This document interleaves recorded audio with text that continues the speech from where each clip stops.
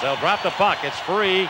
Out right side, Murphy shooting. Save made rebound on the view. Hey! Shoots and scores! Mario Lemieux and the Penguins lead. Five to four, and you'd have to be here to believe it.